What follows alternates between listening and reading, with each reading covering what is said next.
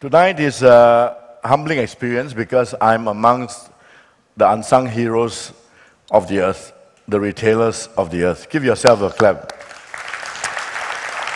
Because the retailers, uh, by definition, a retailer is a person that sells services or products directly to a consumer. He's not a wholesaler, he's not a, a, a, what do you call that, a monopolist. He has to think of many things and in direct contact with the consumer. And it's always tough to sell whatever you have, you think you, what people need, and you have to meet them directly face to face. And this is the most competitive business in the world, uh, retailing business. When I was very young, I always loved retailing business. I'm born uh, with a retailing DNA. I love retailing.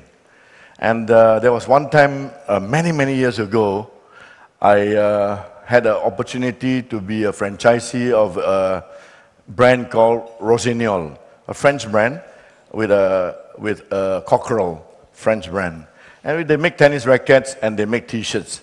And I remember we made these t-shirts quite cheaply in China at that time, just 30 years ago. And I used to go to Isetan and all the supermarkets and hope that my t-shirt sells well. I used to sit there for hours, you know. And then I, I don't quite like when the position of Rossignol is not put in the right place. I will secretly adjust it so that people will see it a bit more. This is the passion of retailers when you believe in your product, whatever your product. And I congratulate all the members here, 200 of them here tonight, who are, congratulate yourselves for being so successful. I really honor and salute you, retailers, for being not giving up in such a tough business. But I've learned in 1999, I've learned something. When we took over Marriott Star Hill Lot 10, this hotel, and uh, at that time, and uh, remember the press, uh, Chu and all these Nanyang are here, they will still have headlines. Francis was always so smart. He took over this at such a cheap price. So I bought these uh, assets at a cheap price, especially the shopping center, very cheap, 40 million at that time, Star Hill, or 30 million, lot 10. Joyce Yap will know that's very cheap today, but at that time, when I bought it, well, I thought it was a reasonable price. But then, the, when I've completed the transaction, then I realized something, you know. There's a saying, uh, cheap things are not good, and good things are not cheap. So I bought so cheap, but actually, when I came to the mall, the only guys paying rental on time is Louis Vuitton. The rest are not. And the, and the mall is like a bombed up mall. Everybody's emptying because nobody can survive. Even at that time in 1999, of course, it was a recession. And I remember in Star Hill, downstairs, instead of the Swanky Feast Village, which shook now, there were kids from uh, Bintang, Bukit Bintang Girls School, which Joyce now put his pavilion, coming to eat uh, noodles at uh, five ringgit. Here's the Louis Vuitton and then the Bukit Bintang Girls School girls in Star Hill. And what's the revenue? Lot 10 worse. And then I realized, my God, you know, this is a seriously, uh, did I make a mistake in, the, in this area? And not to be a loser, of course, I believe my Lord Jesus Christ God is, uh, you see, God is light. God always, light means what? All, we say all bright ideas. Bright ideas come from light, isn't it? So I go on my knees and ask God, I think I made a mistake. You know, it sounds good to own these properties, but look at the, the retail business is terrible. What do I do? So God gave me a lot of ideas. Learn and study. So I went to study what is what makes retail in Hong Kong or Singapore and I talked to all the retailers at that time, all the major retailers in the world.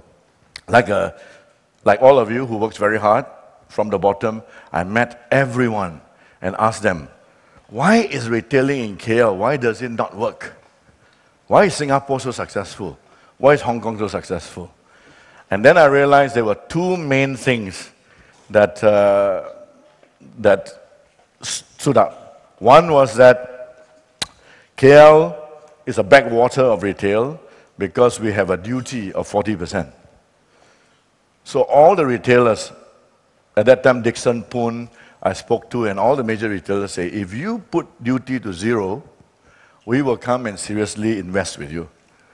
So I said, really? Is that so simple? If I put retail and can convince the government that the duty goes to zero from 40%, you would uh, come and invest?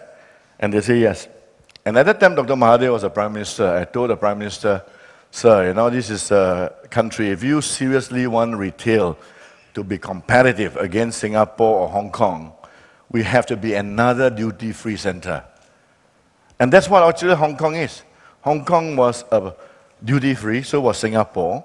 So Hong Kong uh, thrived from a lot of people buying luxury goods in a duty-free area like Hong Kong but the people who buy them are China, Japanese, uh, Koreans, and their duty was 40%. So they come to Hong Kong and buy them and resell them in, in, in, the, in their own countries.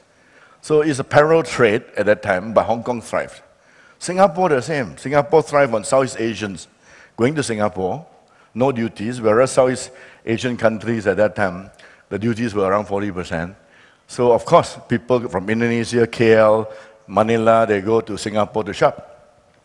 So we say if we do the same thing, then maybe people come to shop.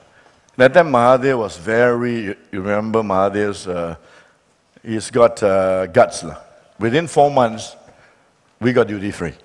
Within four months. Of course, we protected the local retailers. Remember, we said we had to protect local retailers. Anything uh, above, uh, uh, uh below 200 ringgit, we let the local re retailers thrive. Let them adjust to this competition. But we'll protect uh, anything uh, below 200 ringgit, you know, we will protect the local retailers at that time. And that happened. And another thing happened was Bintang Walk. I think we got pictures what Bintang Walk was like at that time. And uh, Bintang Walk was, uh, was a place, is going to be like a red light district. You know, it's like uh, everyone is touting woman uh, and all sorts of things. So it was going downhill like every city downtown. When you don't have ideas, you will go down the, the way. And it was a red light district almost, turning into a red light district. So we told the Prime Minister, why can't we have a mall, you know, the, uh, a walking, uh, a, like uh, walking, uh, what do you call that? Uh, a walk, just like Orchard Road, just like Champs-Élysées. Why can't we do that? So I remember the Prime Minister called the mayor at that time in his office and said, Francis has a very good idea. He wants to do this Bintang walk. Right? And uh, do you have an objection? The mayor at that time, of course, how, who dared object against Mahathir? say, uh, yes. Uh, he said, no, no, that's not a bad idea. And uh, the Prime Minister looked at me. Okay, the mayor, no objection. When do you start? I said, tonight. Literally. So that night, we started work. And in six months, we created the Bintang Walk. And you look at it today, uh, look at slides, flip the slides, Alvin. As you see Bintang Walk evolve, this is what it's all about. Getting uh, retailers uh, from overseas to come and then creating a mall uh, creating a walk like, uh, like La Ramblas in Barcelona or Orchard Road. Today, 50 million people walk on the mall. 50 million people walk in Bintang Walk today. Today, Bintang Walk, today, Joyce will know, he just created this big REIT called Pavilion REIT at 2,000 and above, ringgit per square foot. At that time when I bought it was 200. So in from 1999 to today, it has multiplied tenfold. So that's great for the country. It's employed so many people in this street. This was a red light district. Now it's a hot district, hot for retail, uh, with pavilions, investments. And I remember at that time, uh, I was the biggest REIT uh, at that time, Star Hill REIT, to be listed on the stock exchange. And I like the idea of REIT as well at that time. It was also some of YTL's early ideas. Remember, I was, I was a committee member for capital markets, for, for expanding the capital markets. The REIT was one great idea. If we have got revenues and rental with a lot of uh, people renting it stable, then we can create a REIT market expand for people to invest. And of course, the REIT today, look at Pavilion REIT, is uh, fantastic, eh? 4 5% return. So anybody who doesn't buy Pavilion REIT or Star Hill REIT must be not so clever. if you put money in your bank and it's 3%, and then you can get Joyce Pavilion REIT at 6%, you, you should. You should go and buy the REIT. So that was the idea. The REIT grows, retailers grows, create a lot of employment and prosperity. And this has happened. This has happened, and I'm very pleased since 1999, the retail trade in Malaysia no longer is a backwater. This was something that I'm very, very pleased. So, what happened after that is do we stop here?